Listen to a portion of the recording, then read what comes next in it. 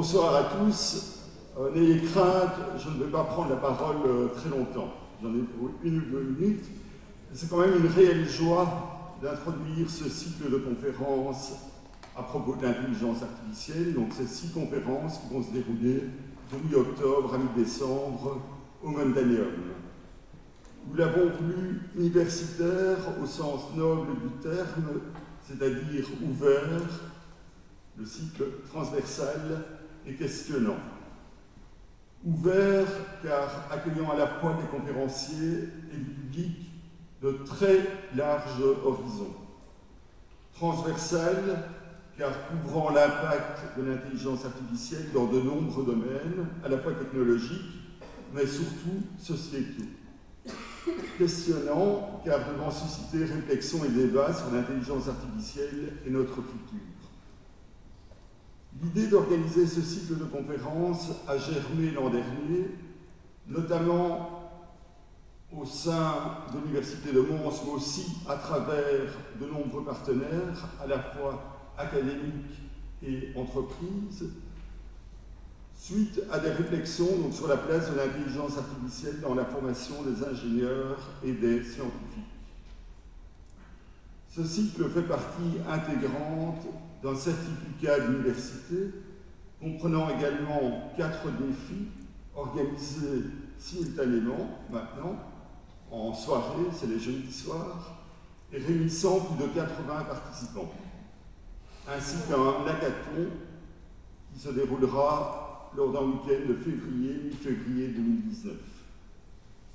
Nous voulons donner à la fois un bagage technologique, grâce notamment aux défis et au hackathon, mais aussi en regard sociétal, une perspective critique grâce aux conférences.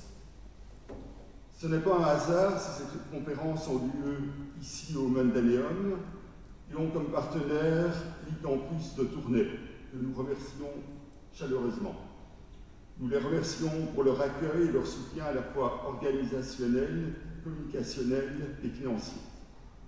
Notons que le campus a également placé l'année académique 2018-2019 sous le sceau de l'IA, en programmant également un cycle de conférences ateliers centré sur la thématique. IA et société, IA et santé, IA et droit, IA et art, IA et énergie, IA et éthique. Voilà le programme de ce cycle séminaire s'étalant les lundis soirs, donc de la fin octobre jusqu'au 17 décembre. Pour la première conférence, nous avons la très grande chance d'accueillir à la fois un brillant professeur d'informatique, spécialisé en IA depuis pas moins de 30 ans, professeur à l'Université Pierre-Marie Curie de Paris, Paris 6, professeur d'informatique donc, mais aussi et c'est rare d'avoir les deux compétences simultanément, un philosophe portant un regard critique et éthique sur l'évolution de l'intelligence artificielle et de ses usages. Le professeur Ganassia préside notamment le comité d'éthique du CNRS, Centre national de recherche scientifique en France. Il a écrit de nombreux ouvrages scientifiques, bien sûr, mais aussi des livres à plus large audience tout comme intelligence artificielle vers une domination programmée, ou le mythe de la singularité, faut-il craindre l'IA Sans plus attendre, je cède volontiers mon micro au professeur Ganassia nous entretenir sur renaissance, promesses et limites de l'intelligence artificielle.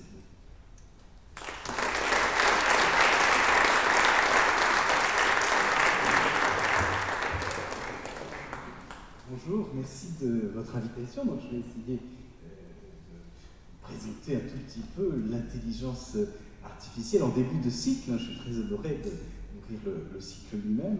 J'ai intitulé Renaissance. Puis après, je me suis dit, tiens, j'ai fait une coquille, j'aurais dû mettre Renaissance au pluriel, parce que l'intelligence artificielle, on va le voir rapidement, mais euh, euh, a vécu un certain nombre d'épisodes de renaissance. Hein. On a parlé de les hivers de l'intelligence artificielle. Là, nous sommes euh, dans une nouvelle renaissance que je vais essayer de décrire. Mais avant cela, je vais parler un peu de l'origine de l'intelligence artificielle. parce que souvent, les gens ont l'air de dire que c'est tout nouveau, que c'est tout neuf. Alors d'abord, artificielle n'est pas neuve, mais elle puise ses racines dans une préoccupation extrêmement ancienne. Hein, c'est se demander est-ce qu'une machine peut penser? Alors, bon, vous allez me dire, euh, c'est vrai que euh, c'est quelque chose d'ambitieux. Alors, c'est la, la, consécution de deux hypothèses. L'une, c'est de dire que la pensée est un calcul. C'est une hypothèse philosophique. Des philosophes comme Hobbes, par exemple, hein, ont, imaginé que la pensée était un calcul, ou, Leibniz hein, affirme que tout dans la nature se fait par calcul, et la pensée en particulier est un, calcul. Hein. Il, faut, entendre calcul au sens euh, euh, étymologique. Vous savez, un, calcul, c'est un caillou. Euh, certains l'ont éprouvé douloureusement, peut-être parmi vous. Et dire que la pensée, c'est un calcul, ça veut dire qu'on peut reproduire la pensée par des manipulations d'expressions symboliques. Alors, deuxième hypothèse, c'est la pensée est un calcul et les machines exécutent des calculs. Aujourd'hui, ça nous paraît évident, mais ça n'a pas toujours été. Euh, et euh, donc l'un des premiers qui avait cette idée, c'était Leibniz, que j'ai mentionné tout à l'heure. Il a fabriqué, il a imaginé plutôt les plans d'une machine qui pourrait reproduire le, raisonnement. C'est très ancien, hein, ça date du 18e.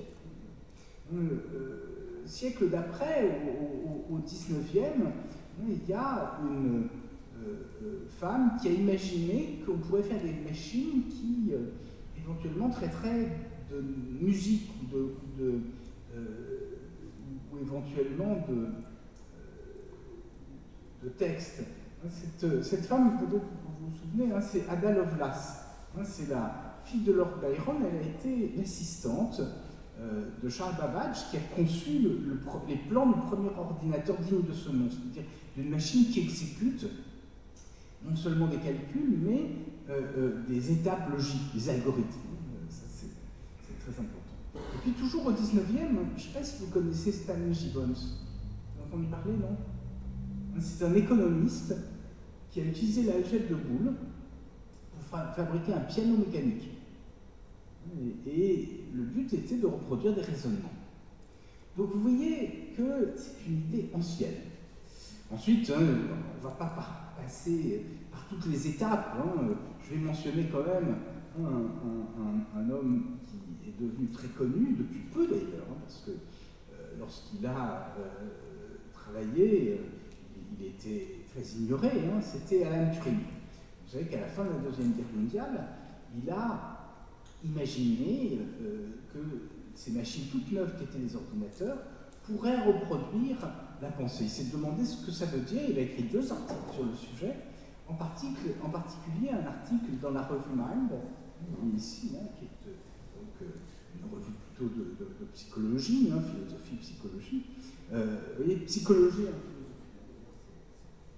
Et donc, cet article dans la, dans la revue Mind se demandait ce que pourrait signifier penser pour une machine. Qu'est-ce que ça veut dire? C'est là où il a imaginé le fameux test de Turing. Mais le, terme intelligence artificielle n'avait jamais été prononcé. Et il a été introduit par deux jeunes gens en 1955 euh, qui ont imaginé qu'on pourrait euh, concevoir une nouvelle discipline scientifique qui étudierait l'intelligence avec ces objets nouveaux qui étaient les ordinateurs. Je crois que c'est important de bien euh, avoir cela en tête euh, parce que euh, euh, souvent, des malentendus hein, se font jour, puisqu'on prend dans le grand public l'intelligence artificielle au sens littéral. On se dit, l'intelligence artificielle, c'est une intelligence qui est artificielle. En réalité, dans l'esprit des gens qui sont à l'origine de cette discipline, c'est en particulier, j'ai donné les, deux jeunes gens de l'époque, ils avaient 28 ans, hein, quand ils ont imaginé ça en 55, John McCarthy, qui est en haut, et puis euh, Marvin Minsky, qui est un peu plus bas. C'était deux euh, euh, mathématiciens, ils avaient fait des thèses de, mathématiques. Hein, John McCarthy plutôt théoricien, et, Marvin Minsky, qui avait travaillé avec la, sur la cybernétique. On, reparlera un tout petit peu de, cybernétique tout à l'heure, on sera rentrer dans le détail parce que ce serait un peu long. C'est que c'est un mouvement scientifique qui voit le jour à partir de la Deuxième Guerre mondiale hein, et qui va, dans les années 50, avoir une influence très très très très grande.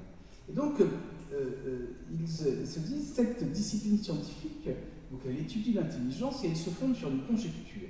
Vous voyez, pour un mathématicien, une conjecture, c'est quelque chose d'important. C'est une proposition qui s'est toujours révélée vraie, mais on ne l'a pas démontrée. Donc on n'a jamais falsifié, mais elle n'est pas fausse, et en même temps, on n'a pas encore réussi à la prouver. Donc cette conjecture, ça dessine un horizon qui euh, euh, euh, dit, ben voilà, on va pouvoir reproduire toutes les fonctions cognitives, hein, donc eux ils disent tous les aspects de l'apprentissage, donc l'apprentissage est déjà très présent, ou toutes les autres caractéristiques de l'intelligence, on va les décomposer en modules élémentaires, si élémentaires qu'une machine va pouvoir les reproduire.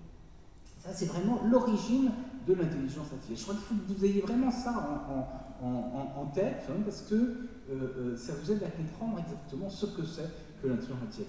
Euh, après, on va voir le, spectre de l'intelligence artificielle. Alors juste avant de rentrer dans le détail, donc 55, vous voyez, il, euh, dépose un projet à la Fondation Rockefeller pour obtenir une, subvention afin d'organiser une école d'été qui va se tenir en 1956 dans petit, une petite université, l'Erasmus College, dans le New Hampshire. Et là, euh, à la différence de, ce que sont souvent aujourd'hui les universités d'été, il s'agit de John McCarthy qui est dans son laboratoire qui reçoit un certain nombre de gens pour travailler avec lui. Ce sont, vraiment des euh, gens qui commencent à programmer. Hein. Euh, mais à l'époque, c'était difficile, hein, parce que vous imaginez qu'il n'y avait pas de langage de programmation. Hein. Il y avait non seulement des cartes, mais en plus c'était souvent en, assembleur, dans des langages très proches du langage machine. Alors, donc on peut dire la Artienne, ça a 63 ans, 62 ans si on compte 1956, euh, l'école d'été de. Et en 60 ans, cette discipline, un peu plus de 60 ans, je pense que cette discipline a transformé le monde. Et je vais vous donner un certain nombre d'exemples très rapidement. Le premier, c'est le web. Je, crois que les gens l'oublient, mais le web, c'est euh, le couplage des réseaux de télécommunications, ce qu'on appelle Internet, c'est-à-dire euh, euh, le réseau des réseaux, hein, qui a été conçu dans les années 60 aux États-Unis, hein, 70, avec un modèle de mémoire, donc vous voyez, la mémoire c'est une fonction cognitive, un modèle de mémoire qui est programmé avec des techniques d'intelligence artificielle en 1965, hein, ça s'appelle l'hypertexte. Euh, le protocole web, ou le langage d'écriture des pages web, font tous référence à l'hypertexte. Et puis on peut continuer, les moteurs de recherche utilisent l'hypertexte. Alors souvent, moi je dis que l'intelligence artificielle, c'est un peu comme, euh, euh, souvenez hein, du bourgeois gentilhomme, hein, euh, Monsieur Jourdain fait de la prose sans le savoir, hein. on pourrait dire que tout le monde aujourd'hui dans la société actuelle fait de l'intelligence artificielle sans le savoir, parce qu'on utilise tous le web, le web sémantique, c'est l'intelligence artificielle, etc. Donc voilà, ça c'est la, première aspect. Donc juste ici, j'ai donné quelques, quelques repères hein, sur euh, l'intelligence artificielle en vous disant qu'il y a eu plusieurs renaissances.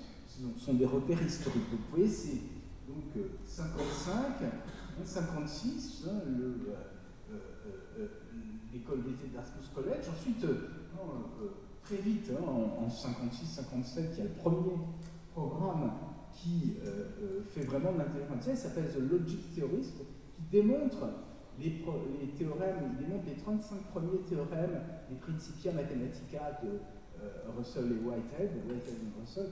Donc c'est très impressionnant, à l'époque les gens sont, sont bluffés. Et l'un des programmateurs, hein, des, informaticiens, des personnes qui contribuent à la, à la rédaction, à la mise au point de ce programme, Herbert Simon, déclaré euh, euh, en 1958, il est enthousiaste, il dit d'ici 10 ans, l'intelligence artificielle, elle n'est pas exclue des compétitions du monde au jeu d'échecs, va être championne du monde au jeu d'échecs. De même, hein, il, va euh, faire tout un tas de déclarations, c'est ce que j'appelle les, prophéties hein, qui ont été lancées à ce moment-là. Et malheureusement, quelques années plus tard, l'intelligence ne va pas aussi rapidement que ce qu'on avait imaginé. Et donc, ça, ça, a conduit à un premier hiver de l'intelligence artificielle, en tout cas une suspicion vis-à-vis de l'intelligence artificielle. Et en particulier, il y a eu un autre aspect qui est important, c'est ce qu'on appelle la traduction automatique.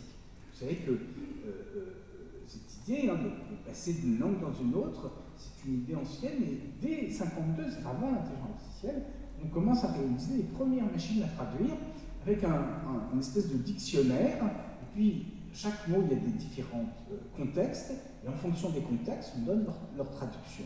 Et on fait, ça, on fait ça à la main, et ça donne des résultats euh, qui sont euh, très décevants. Pourquoi? Parce que ces dictionnaires sont relativement pauvres, et des linguistes euh, sont chargés de rédiger un programme, un, rapport pour le euh, gouvernement américain qui s'appelle le rapport ALPAC.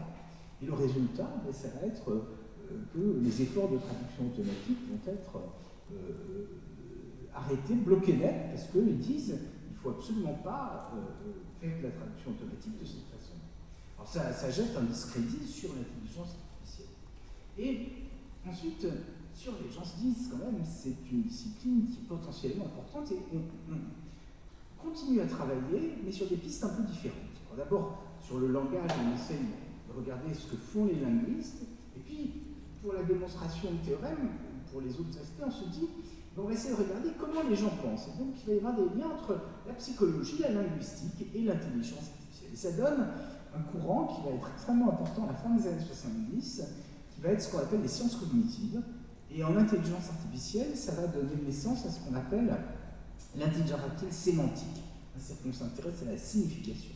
Et il y a deux aspects très importants, c'est ce qu'on appelle les systèmes experts, qui vont jouer un rôle très très, très, très important dans les années, je un rôle très très important dans, les années 70, et puis, et puis ce qu'on a appelé la représentation des connaissances, hein, c'est l'intelligence artificielle sémantique.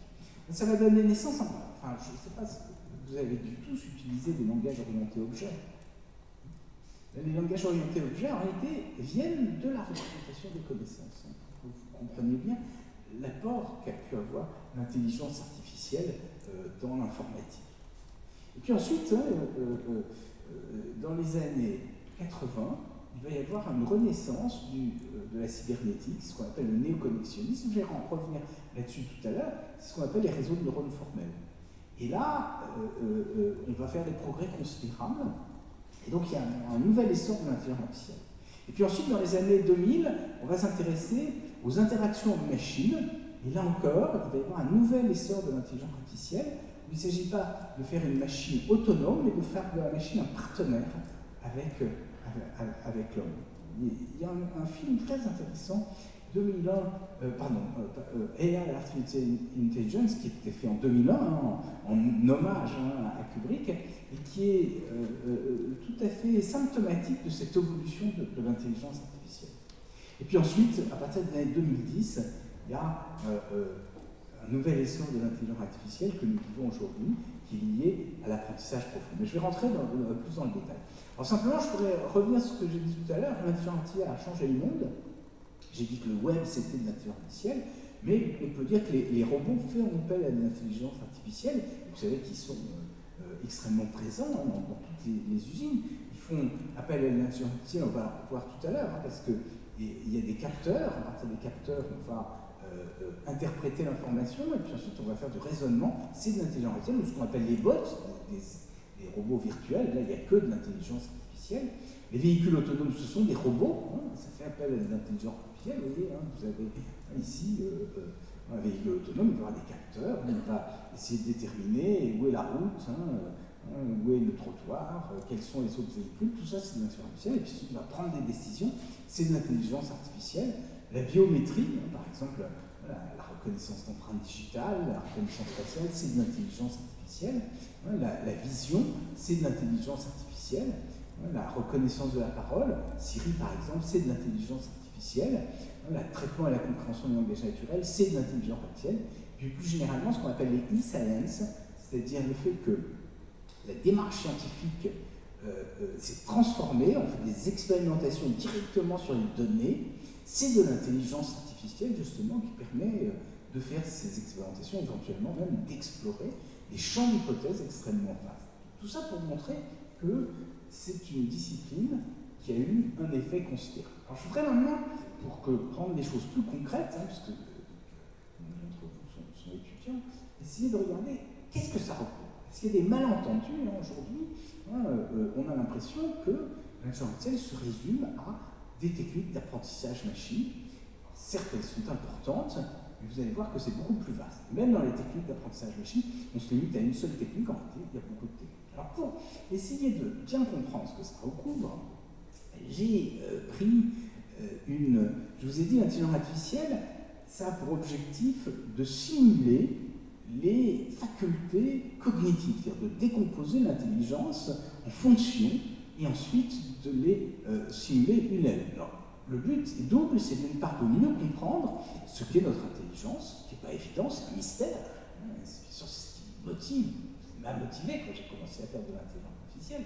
Donc premièrement, mieux comprendre ce qu'est l'intelligence, mais aussi, une fois qu'on a simulé un certain nombre de fonctions cognitives, de les appliquer, de les euh, euh, utiliser dans la réalisation d'un certain nombre d'objets, parce que ça peut répondre, ça peut résoudre beaucoup de problèmes. Et pour essayer de bien comprendre ce que ça recouvre, je vous propose de reprendre une décomposition qui est faite hein, des euh, facultés cognitives en cinq catégories. Il peut y en avoir plus ou moins, peu importe, mais je crois que ça aide un peu à comprendre l'ampleur de l'intelligence artificielle. Alors que sont ces, ces cinq catégories, ces grandes classes de fonctions cognitives hein, C'est d'abord les trois premières, hein, ça correspond à euh, ce qu'est un, agent. Est-ce que, euh, enfin, euh, vous, savez ce que c'est qu'un agent? Ouais. Hein? C'est une entité abstraite qui va pouvoir se conduire dans le monde. Hein. Alors, ça vient un peu, hein, une notion très, très ancienne, alors ça va peut-être vous surprendre, mais vous savez que dans l'Antiquité, Aristote a écrit un traité, il a écrit beaucoup de choses, monsieur fait un peu la synthèse des connaissances de son temps. Et entre autres, il a écrit un traité qui s'appelle le De Anima. Vous connaissez un peu le De Anima hein? C'est très intéressant parce que c'est de l'âme. Alors, c'est pas l'âme au sens euh, spirituel du terme, c'est l'âme au sens rationnel, c'est-à-dire ce qui anime, le souffle hein, qui va animer. Donc, il s'intéresse à la psychologie. il se dit qu'est-ce que c'est? Un psychisme ben, Il dit on a des organes d'essence. Euh, la vue, l'ouïe, hein, et puis, à partir de ces organes d'essence, on va récupérer des informations, et puis on va construire ce qu'on appelle une représentation, c'est-à-dire intégrer ces informations pour ensuite euh, rendre présents les objets en leur absence, hein, c'est-à-dire mémoriser les choses. Et euh, donc, euh, les premières fonctions cognitives, ce qu'on appelle les fonctions réceptives, ce que les psychologues appellent la perception, c'est-à-dire le passage des informations à la mémoire. Vous savez, bon, par exemple, vos yeux. Vos yeux, vous avez l'impression que vous voyez bien, même si vous avez des lunettes.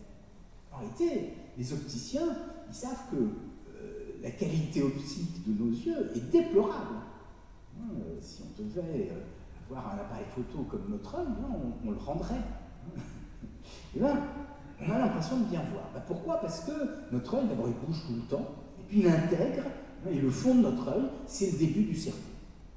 Donc effectivement, on construit quelque chose, et on construit hein, quelque chose en mémoire. Notre œil n'arrête pas de bouger, réalité, bon, euh, on sait, ce qu'il y a c'est les premières choses, donc première fonction, les fonctions récentes.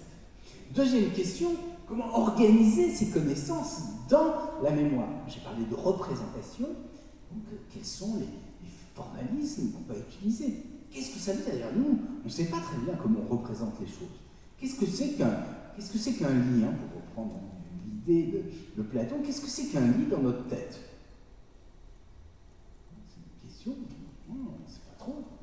C'est un concept. Ben, on va se demander qu'est-ce que c'est qu'un lit dans la tête d'une machine? Ah bon, on peut essayer. En tout cas, c'est ce qu'on va essayer de faire. Pourquoi c'est intéressant? Parce qu'on va pouvoir essayer de faire des déductions à partir de ça, hein, et de rapprocher hein, un lit d'autre chose, d'un meuble, etc. Donc ça, c'est une question. Et puis deuxième chose, cette mémoire, est-ce qu'on peut l'exploiter? Pour construire de nouvelles connaissances C'est de l'apprentissage. Donc ça, c'est la deuxième grande classe de fonctions cognitives. On va les reprendre une à une parce que vous allez voir quelques-unes des réalisations que, l'on a fait. La troisième grande classe, c'est la pensée. Pour Aristote, c'est un calcul sur les représentations, c'est-à-dire un calcul sur les éléments d'information qui sont stockés en mémoire. Et ça, ben, euh, euh, on peut effectivement le modéliser avec des techniques d'intelligence artificielle. Donc, tout les trois premières, ce sont, ça correspond à cet agent isolé que j'ai évoqué tout à l'heure. Mais ensuite, ces agents, ils peuvent communiquer entre eux, ils peuvent être plusieurs. Et pour ça, il leur faut des fonctions expressives. Il faut qu'ils communiquent. C'est ce qu'on va faire hein, avec le langage naturel, la compréhension du langage, etc. Mais tout ça, c'est de l'intelligence artificielle. On va revenir hein, après pour donner quelques illustrations de tout ça. Puis le dernier point, c'est euh, ces agents, ils sont dans le monde. Donc euh, bah, ensuite, ils vont commander, ils vont agir. C'est ce qu'on appelle les, facultés exécutives. Alors, à reprendre maintenant, hein, la première chose, fonction réceptive, bah, c'est les, images. c'est la reconnaissance des formes, euh, l'accès par le contenu, l'interprétation de vidéos. Est-ce qu'on peut essayer sur un quai de métro de savoir quand est-ce qu'il y a une intention agressive? C'est pas facile, mais il y a quand même des choses qui se font là-dessus. Le traitement de la parole, ça on le fait, surtout le téléphone portable. Euh, aujourd'hui, ça vous paraît évident à tous, hein, parce que vous, utilisez Siri ou d'autres logiciels, mais quand euh, en 1968, hein, il y a 50 ans, Kubrick sort son film dominant le film d'espace, c'est de la science-fiction à l'époque. C'est donc, mais ce qui est important, c'est de bien comprendre que la science-fiction a eu des succès incroyables. moi, souvent, euh, quelques années, on me le dit on me disait, est-ce que vous y croyez dans la minorité C'était bizarre, parce que on ne va pas avoir un physicien, est-ce que vous croyez dans la physique ou un mathématicien? Est-ce que vous croyez dans les maths hein? C'est absurde. Hein? parce qu'en réalité, les gens, ils imaginaient autre chose. Hein. Ils pensaient que l'intelligence artificielle, tout d'un coup, ça allait faire sortir une machine. C'est pas ça. C'est une discipline scientifique où on va s'attaquer à des problèmes précis, comme cela. Et là, on a des réussites extraordinaires. Ce des exemples, on peut continuer, puis information, etc. Alors, je vais donner quelques petits exemples de perception, parce que c'est là où c'est plus. La reconnaissance faciale, vous voyez, FaceNet, par exemple, il enregistre. Il part de 200 millions d'images, il utilise des techniques d'apprentissage, on va revenir sur les techniques d'apprentissage, pour 8, 8 millions d'identités différentes, et il reconnaît les visages à 99,63% de taux de réussite. Ce qui est euh, assez bluffant parce que, euh, bon, moi je suis enseignant, j'ai beaucoup moins de 8 millions d'élèves. Je vous assure que je ne les reconnais pas tous à 98, 99%. Donc vous voyez, c'est. Donc on a des machines qui sont euh, plus performantes que les hommes sur certaines tâches, bien sûr, pas sur n'importe quoi. Alors, un autre exemple qui est intéressant, parce que j'ai cru comprendre qu'il y avait une, session sur les applications médicales, c'est ça? C'est ça. Alors, je donne un autre exemple. Vous savez que l'an dernier, il y a eu euh, des médecins qui ont enregistré, hein, il y a 129 450 images de grains de beauté prises avec des téléphones portables, et ensuite, on les a étiquetées. Ce qu'on appelle l'apprentissage supervisé, les médecins ont dit, voilà, celui-là il est bénin, celui-là il est malin, etc. Et à partir de ça, donc, on a fait de l'apprentissage, on a eu un système qui euh, était capable de diagnostiquer euh, un euh, mélanome avec précision meilleure que celle de 21 médecins dermatologues, spécialistes. Et ça donne des choses quand même impressionnantes. On va continuer. Hein. Ici, hein, c'est pour vous donner un autre, exemple.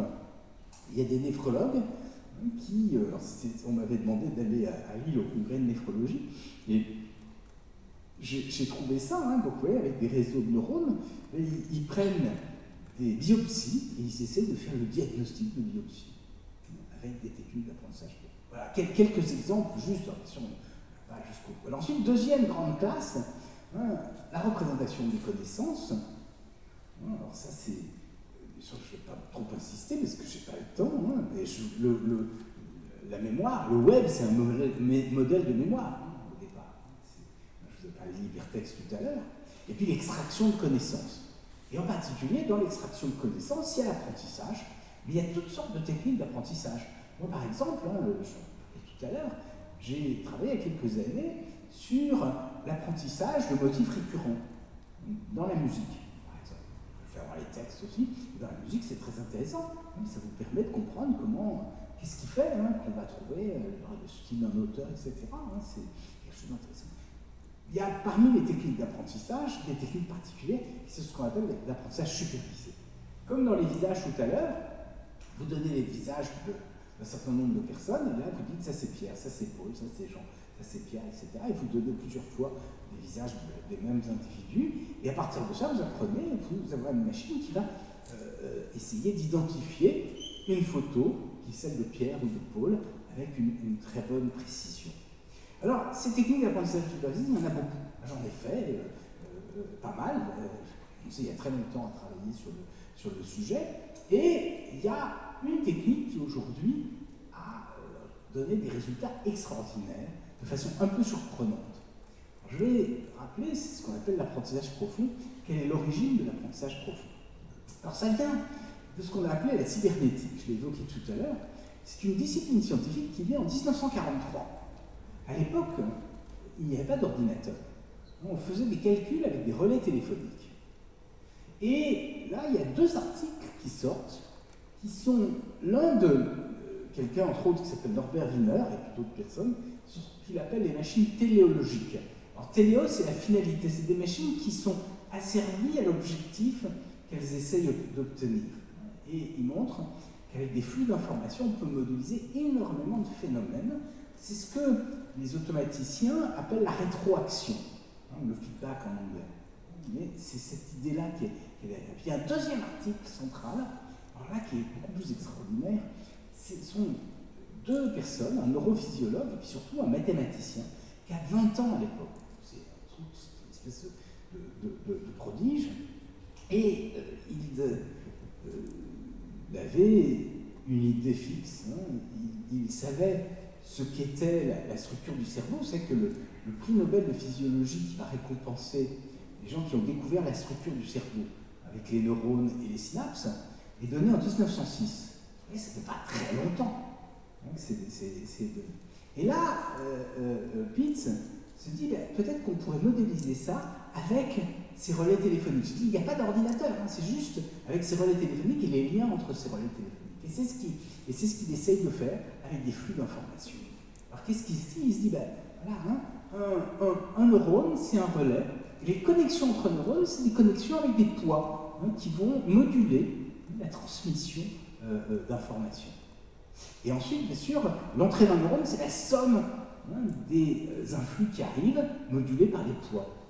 Et ce qui va démontrer, ça c'est un théorème extrêmement important, c'est que si on organise ces neurones en trois couches, les neurones de la première couche étaient reliés à la seconde, ceux de la seconde à la troisième, et là on peut réaliser, si on distribue bien les poids de connexion, n'importe quelle fonction booléenne. C'est quand même c'est très intéressant, ces résultats mathématiques remarquables. Mais bien sûr, pour le mettre en œuvre, si on a une fonction booléenne, il faut essayer d'établir les poids de chaque connexion. Mais ça, c'est extrêmement difficile de programmer ces poids.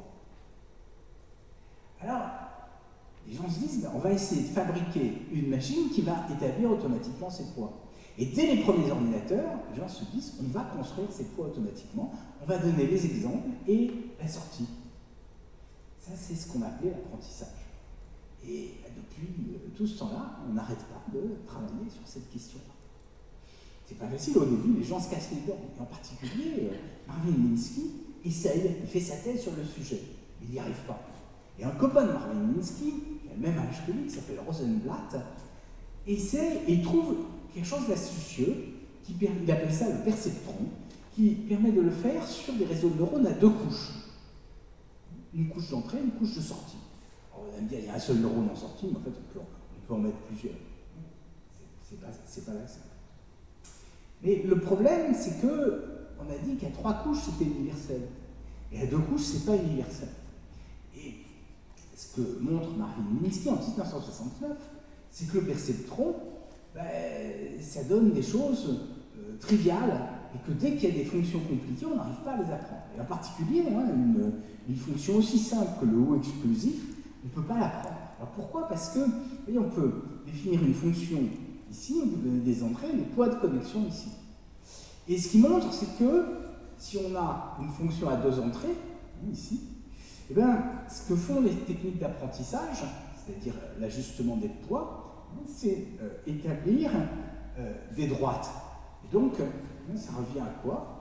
Ben, Ça revient ici à avoir des choses. Et là, oui, le ou exclusif, il faut, c'est sur les deux carrés noirs, il faut éliminer les deux carrés rouges. Et bien ça, ce qu'il démontre, c'est qu'on ne peut pas faire ça avec les techniques d'apprentissage à deux couches. Il faut au moins trois couches. Donc c'est pas universel. Et bon, on arrête de travailler sur les, réseaux de neurones formels. Et il faut attendre 1986 pour que des gens généralisent l'algorithme du perceptron et montrent qu'on peut le faire.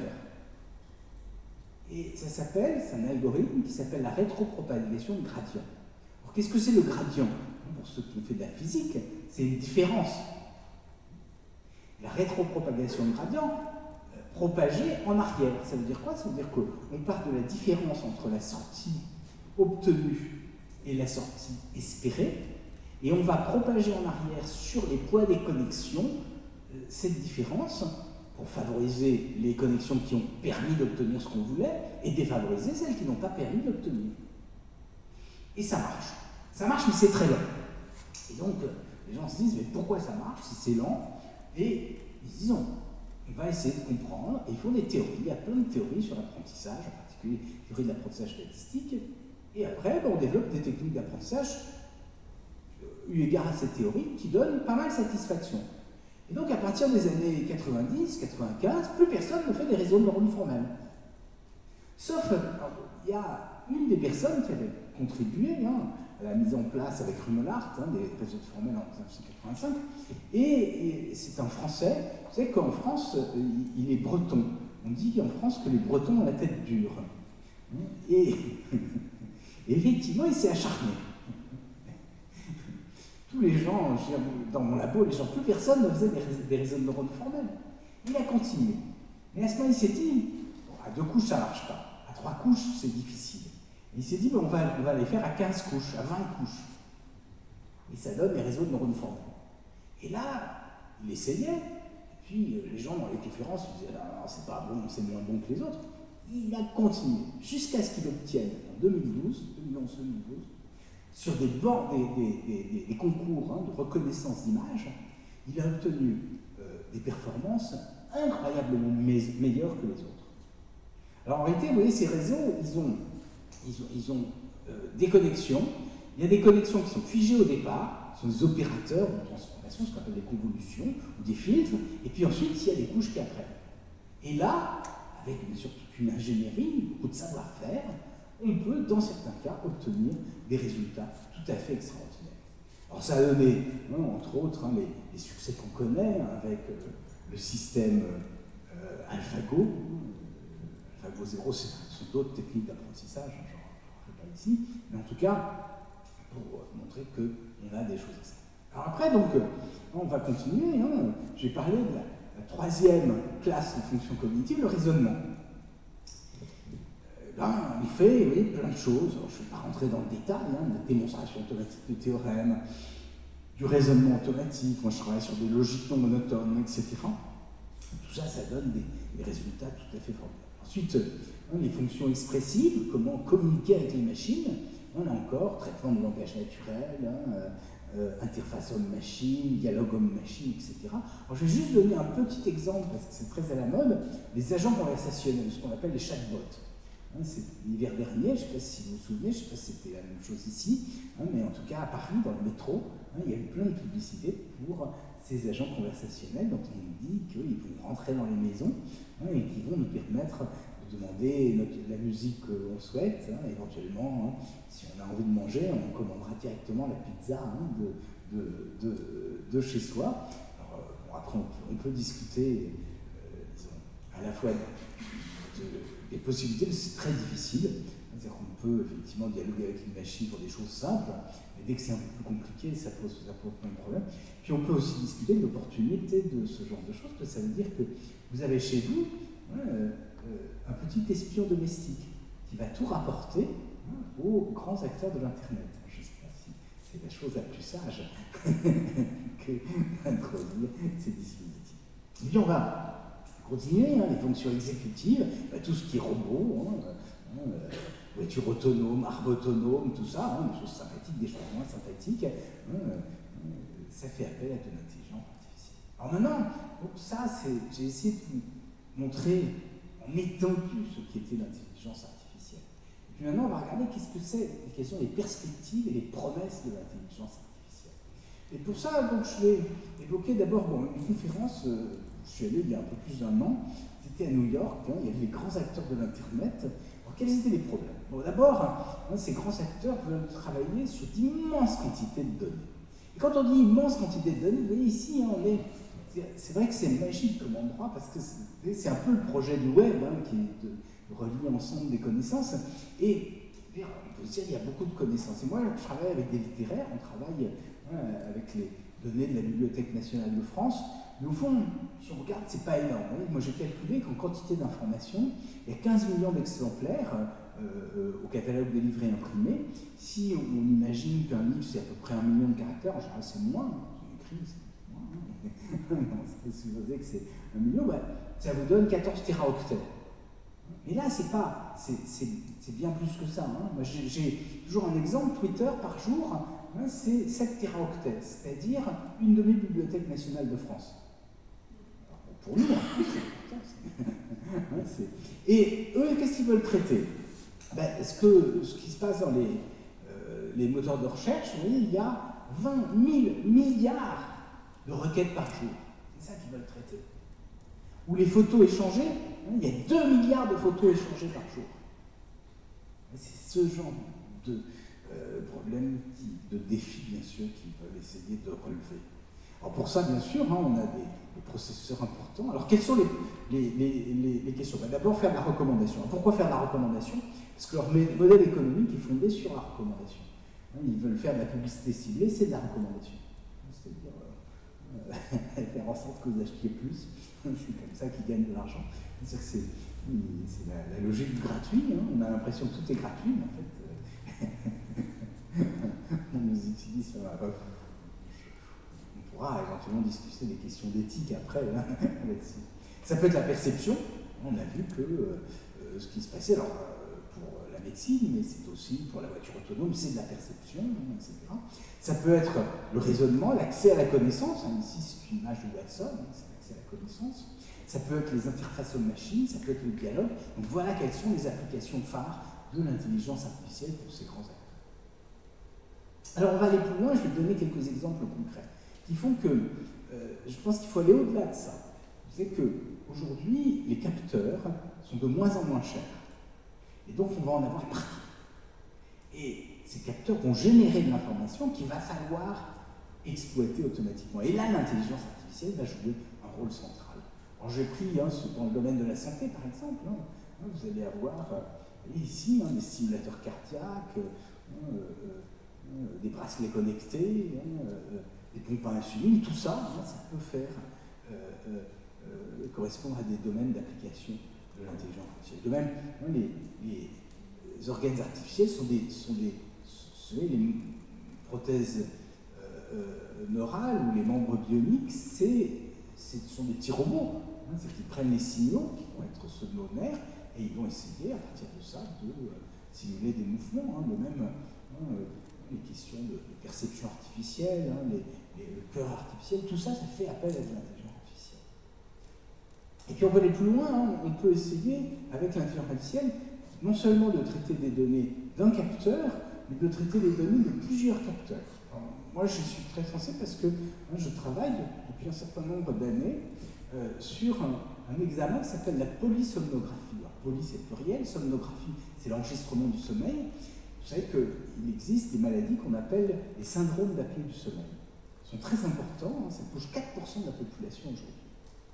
C'est de plus en plus important, c'est lié à la charge pondérale, surtout les populations vieillissent, plus les gens euh, grossissent, plus il y a de, de syndrome d'apnée Et ça a des effets négatifs, d'abord parce que les gens sont fatigués, et puis ça a des effets négatifs aussi parce que ça, du point de vue cardiaque, c'est très mauvais. Et donc, euh, on a essayé de, faire des systèmes qui permettent d'analyser automatiquement, parce que c'est très coûteux. Vous voyez, il faut que le matin, il faut qu'il y ait trois médecins différents. Il faut qu'il y ait un neurologue, parce qu'il y a des signaux hein, qui vont enregistrer enfin, il y a des capteurs qui vont enregistrer les signaux cérébraux pour déterminer le, stade du sommeil. Ensuite, hein, il y a un pneumologue, parce que l'apnée du sommeil, hein, c'est la respiration. Et puis ensuite, il y a un ORL, parce que souvent, les syndromes d'apnée du sommeil sont liés à des problèmes de, forme du palais, etc. Et donc, euh, il faut enregistrer ça le matin, et ce qu'on essaie de faire, c'est de faire ça automatiquement, en prenant tous les capteurs, donc il y a des, des EEG, il y a des, canules dans le nez, il y a euh, des signaux, et on, mesure la saturation du sang sur les, sur les, euh, sur, les doigts, hein, on mesure le mouvement des jambes, hein, on mesure le mouvement de la cage thoracique, on mesure aussi le mouvement des yeux, etc. Et à partir de ça, bien sûr, l'idée c'est d'interpréter euh, chaque signal séparément, puis de faire la fusion. Par exemple, si on repère qu'il y a euh, un arrêt respiratoire plus une désaturation du sang, et bien à ce moment-là, ça correspond certainement à une apnée du sommeil. on essaie de, de ça aux, euh, phases du sommeil, hein, ça, donne une idée de, ce qui se produit. Vous voyez, c'est juste pour que vous ayez une idée de ce que ce qu'on peut faire avec l'intelligence artificielle. Alors plus généralement, euh, euh, les objets du monde, hein, je dis qu'ils sont reconceptualisés. Vous voyez qu'une montre, c'est toujours une montre, de loin c'est une montre. Hein. Mais en fait, euh, s'il y a des aiguilles, il n'y a pas d'aiguilles. C'est une montre connectée. Vous avez tous, hein, ça sert à plein d'autres choses. De même, les lunettes, vous croyez que c'est des lunettes, mais bientôt on aura des lunettes avec des écrans dessus on pourra voir en réalité augmentée euh, des informations qui vont superposer aux objets du monde. Les, vélos. Hein, euh, alors, je ne sais pas ici si vous avez des, Vélib, hein, mais dès que vous allez dans une ville, aujourd'hui, vous avez des Vélib. Les Vélib, bah, ils, ont, ils ont plein de choses. Hein. D'abord, il y a souvent un moteur électrique. Puis en plus de ça, vous pouvez avoir un GPS. Et puis, vous pouvez repérer automatiquement les Vélib. C'est la même chose qu'un vélo, mais sauf que c'est plus qu'un vélo. Et c'est les chaussures. Les chaussures, c'est la même chose que des chaussures, sauf qu'elles ont des capteurs. Ou les stéthoscopes, ben, ils vont avoir. C'est la même chose, vous souvenez, les stéthoscopes d'avant, les médecins, ils avaient des stéthoscopes. Là, on va avoir la même chose, sauf qu'on va avoir des systèmes qui vont enregistrer automatiquement, qui vont euh, euh, euh, faire tout un tas de mesures à partir de ça. Alors, pour essayer de caractériser ça, hein, j'ai repris un, concept qui a été introduit par un, un philosophe italien qui est à Oxford, qui appelle ça la réontologisation. Alors qu'est-ce que c'est l'ontologie? L'ontologie, c'est euh, euh, la science de l'être. Et la réontologisation, ça veut dire qu'il y a des notions qui vont changer. C'est-à-dire qu'on va les reconstruire. De même que les objets, on les reconstruit, les notions, on les reconstruit. Alors, ça tient à quoi? Ça tient à ce que euh, ce qu'on appelle l'infosphère. Alors, qu'est-ce que c'est l'infosphère Vous savez que on a parlé de la lithosphère, c'est la, sphère terrestre, c'est les roches. Et puis la biosphère, ben, c'est la vie qu'il va y avoir dessus. Et la logosphère, c'est la sphère du langage. La graphosphère, ça va être la, sphère des écrits. La, graphosphère, hein, comme ça, on peut, communiquer avec euh, les gens de l'Antiquité, hein, parce qu'on sait ce qu'ils ont écrit. Et l'infosphère, c'est les échanges d'informations. Les échanges d'informations, c'est très ancien on n'a pas attendu les hommes hein, dans la nature, c'est pour ça que, j'ai mis cette, photo. Les plantes s'échangent les signaux chimiques qu'elles vont interpréter comme étant des informations.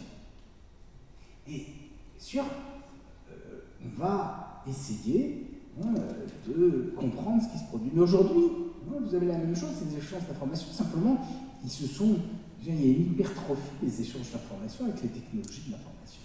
Et quel est le résultat? Ben, C'est que la société s'est transformée, c'est-à-dire que les notions qui faisaient la trame du tissu social ont énormément évolué. Alors, je vais vous donner quelques exemples. Ici, l'amitié. L'amitié, ça existe depuis l'Antiquité. Et sur les réseaux sociaux, vous êtes amis avec des gens. C'est presque la même chose. Dans l'Antiquité, c'était une affinité particulière. C'est la même chose. C'est pas tout à fait la même chose. Est-ce que c'est la même chose ou pas? La voiture. La voiture, bah oui, ça ressemble, hein. sauf que hein, avant, quand j'étais petit, hein, les gens, ils, enlevaient les bougies dans les voitures. où, il y avait des gens qui enlevaient les delco. Ne me demandez pas ce que c'est que le delco, mais c'était quelque chose qui était classique hein, pour, qu'on ne vole pas la voiture. Aujourd'hui, vous imaginez que les gens rentrent dans le moteur Non. Et la voiture, elle se ressemble avec les voitures euh, des années 70, la carrosserie est à peu près la même, sauf que ça n'a plus rien à voir. L'informatique est partout à l'intérieur des voitures. Et puis on va aller plus loin, la réputation. La réputation, c'est ancien. Vous vous souvenez de la chanson de Brassens, la, bonne, la mauvaise réputation Et aujourd'hui, la réputation, est-ce que c'est la même chose? En Chine, quand on fait un score de réputation, est-ce que c'est la même chose que la réputation au village? Ah, tout à fait.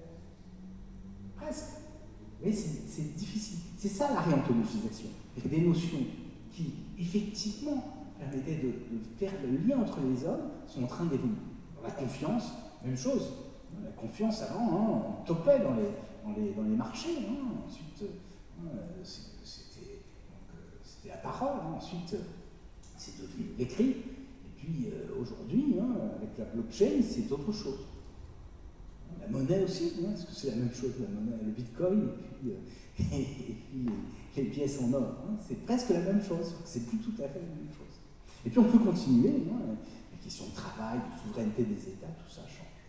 Alors je voudrais aller plus loin pour que vous compreniez bien l'importance de, l'intelligence artificielle et que ça change. Hein, euh, euh, c'est au cœur du changement, c'est le numérique bien sûr qui change. Mais l'intelligence artificielle joue un rôle central dans toutes ces évolutions. Ensuite je vais aller plus loin, hein. je vais parler euh, de l'industrie 4. Vous avez entendu parler de l'industrie 4.0 Ouais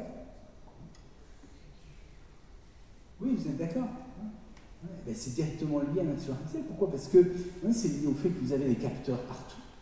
Hein, et à partir de ces capteurs, on va essayer d'interpréter les, choses avec les capteurs. Hein. Alors, si vous avez entendu parler, je ne vais pas rentrer dans le détail, c'est lié. Euh, en fait, on, appelle ça 4.0 parce que c'est la quatrième révolution industrielle, du moins c'est ce qu'ont dit les, Allemands en 2011, mais ça joue un rôle vraiment, vraiment important. Derrière, il y a une réalité qui est extrêmement forte.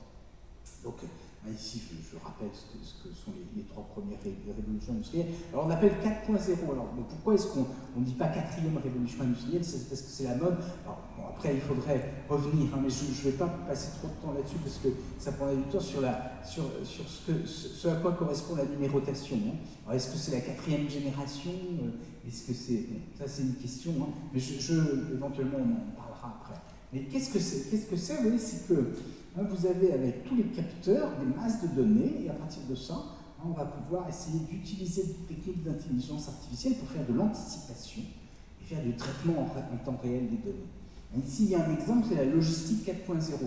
Hein, aujourd'hui, vous, allez être capable, pas encore, mais presque capable, de faire d'établir le stock en temps réel.